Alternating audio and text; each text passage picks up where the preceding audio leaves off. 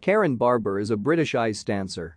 She is the 1983 European bronze medalist and competed at two Olympics with partner Nicky Slater.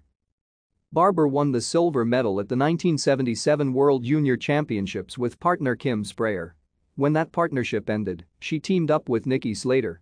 They won the bronze medal at the 1983 European Championships.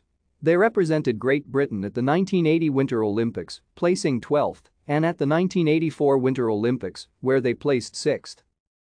Following her retirement from competitive skating, Barber worked as a coach and skated professionally.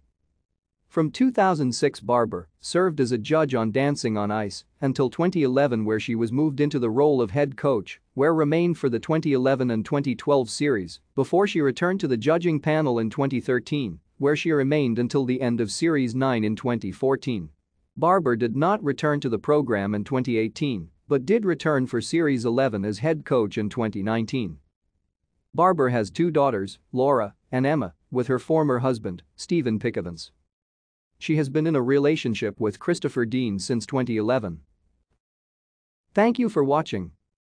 Like and subscribe if you would like to view more of our videos. Have a nice day.